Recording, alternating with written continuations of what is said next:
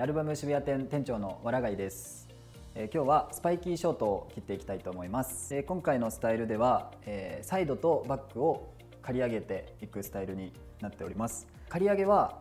ちょっと長めに 15mm のアタッチメントをつけて、え刈り上げていきます。僕のお客様でもこう一番オーダーが多いスパイキーショートになっていますのでしっかり切っていきます。よろしくお願いします。まず、えー、ブロッキングをしていきます。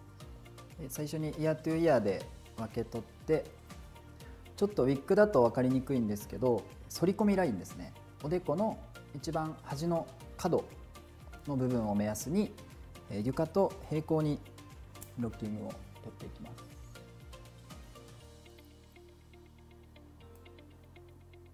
でこのまま、えー、バックも床と平行にまっすぐ取っていきます。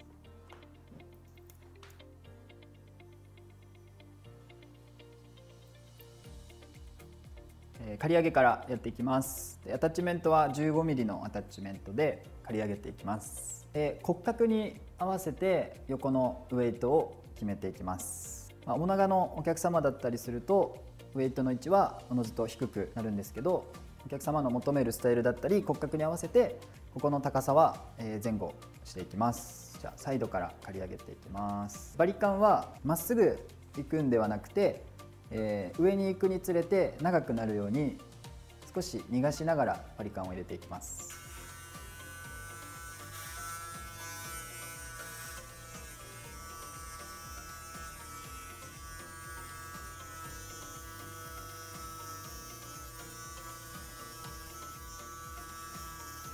サイドが終わった時点で左右の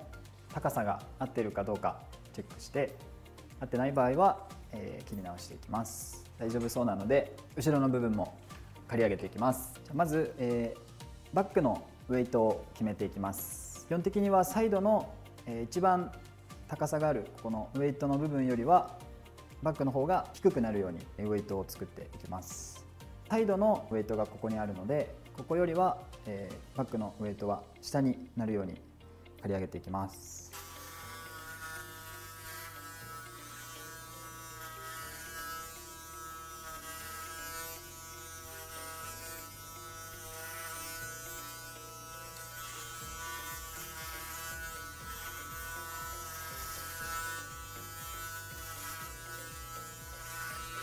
先に粗めに、えー、刈り上げて長さを切ってから微調節をしていきます。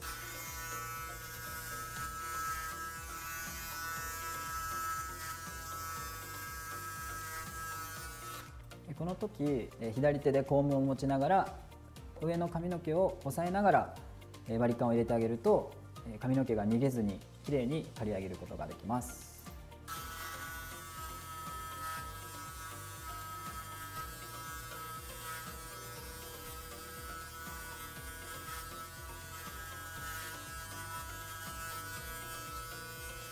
横のウエイトがここにあるのに対して、えバックの刈り上げの一番高いところが、えここに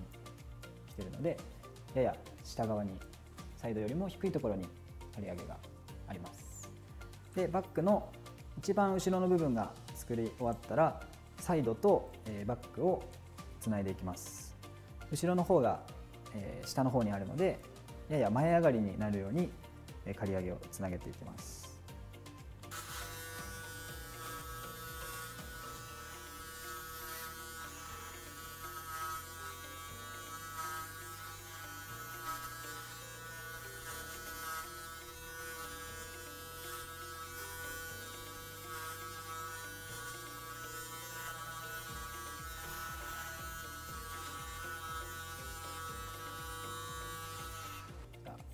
を外していきます。そしたらトップの髪の毛を下ろしていくんですがこの時に変な分け目とかはつけずに自然に落ちる位置で溶かします。刈り上げの表面の毛をガイドに上の毛をつなげていきます。これがガイドになります。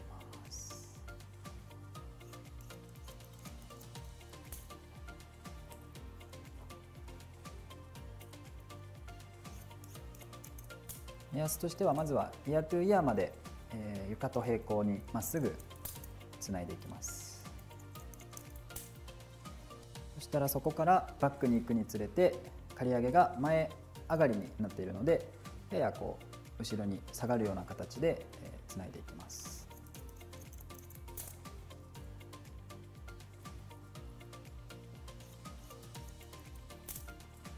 え前髪を切っていきます。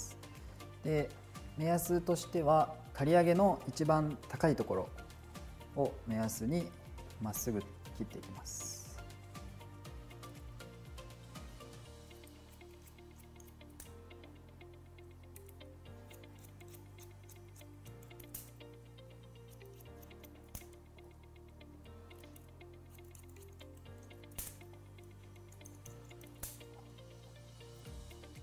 トップを切っていきます。でモヒカンラインから切っていくんですがまずガイドになるのが前髪の一番端の毛ですね。ここの前髪をガイドにセイムレイヤーで全部同じ長さで切っていきます。頭皮に対して垂直に引き出してそのまま切っていきます。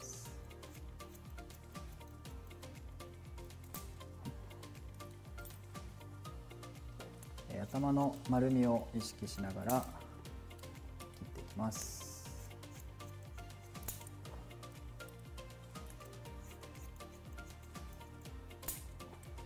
でこのままバックのところまで、え切り進めていきます。しっかりと引き出したパネルに対しての、えー、オンベースを意識してっていきます。これで今ち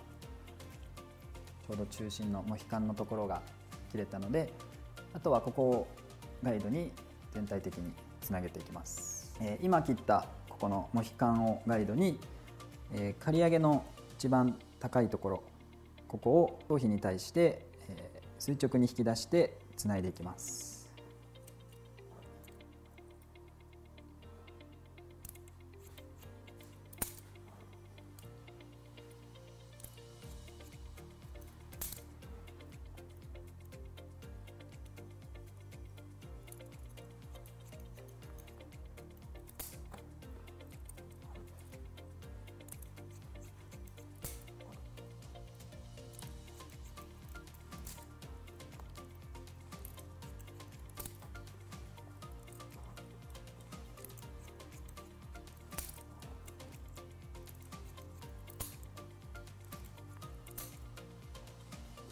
でフェイスライン一線のところはオンベースってよりかは一つ後ろに引いてつないでいきます。理由としては、え、男性の方だとやっぱり反り込みラインのところがこうぐっと後ろに食い込んでる場合があるのでオンベースにしすぎてしまうと、え、ここが薄くなりすぎるケースがあるので後ろに少し逃がしてつないでいきます。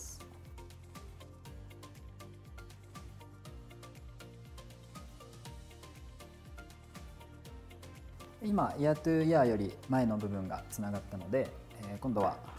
後ろイヤートゥイヤーより後ろの部分を、えー、放射状につないでいきます。でセンターの部分は先ほどつないでいるのでその次のパネルからつないでいきます。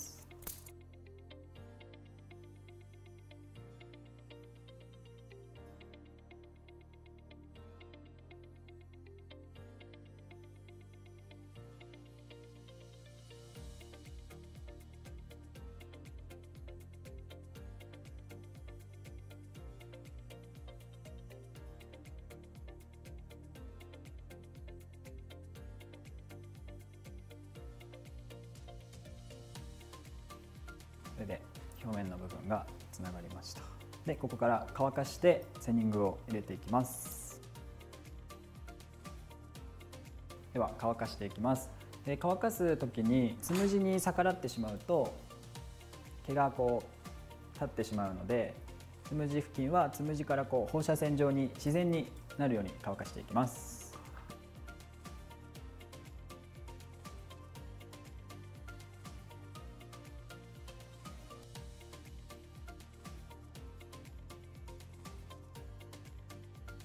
サイドから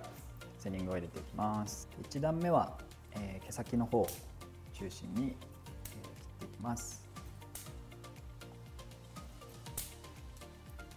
だいたい2センチスライスぐらいで上に上がっていきます。2段目は、えー、中間の方からしっかりと量を取っていきます。3段目も中間の方から、えー、センターのラインを、えー、セニングしていきます。で1段目。1段目は毛先。中心に量を取っていきます。1段目はやっぱり上げた時に根元の方からついてしまうと一番表面の部分が出てきてしまうので毛先の方だけセニングしていきます。あとは伸びてきた時にも下ろしてスタイリングができるように1段目は根元の方はなるべくつかないようにしていきます。2段目も中間から毛先にかけて量を取っていきます。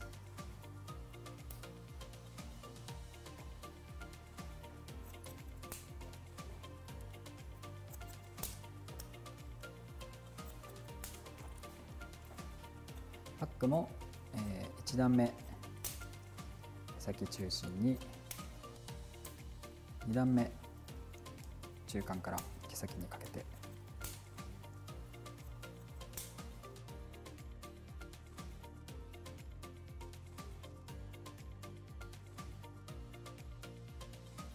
つむじ付近、えー、表面になるようなところは、えー、毛先だけセニングをしていきます。理由としては表面になるので短い毛が表面に出てこないようにするために毛先のみのセニングをしていきます。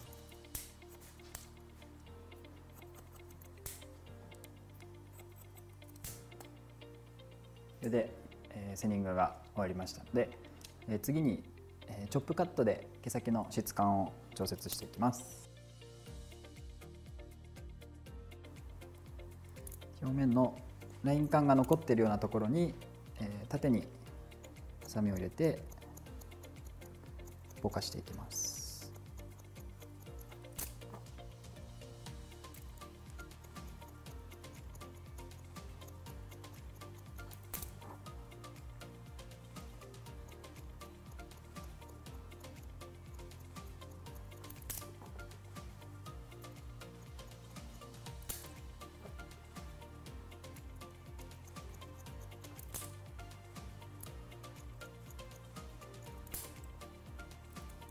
今回はチョップの深さは2センチぐらいで、切ってるんですがザクザクさせたい時とかお客様が求めるスタイルによってチョップの深さは、変えていきます。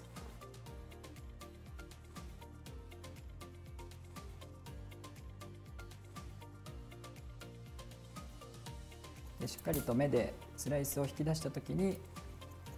ブラント感が残っているところを確認してこにチョップを入れていきます。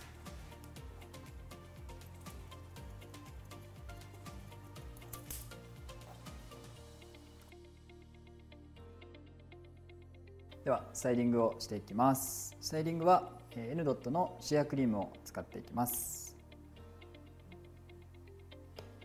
分量としてはこれぐらいつけていきます。しっかりと手のひらで指の間までスタイリング剤を伸ばして後ろからけていきます。で毛を握るような感じでしっかりと飲み込んでいきます。後ろにつけたら今度前の方もつけていきます。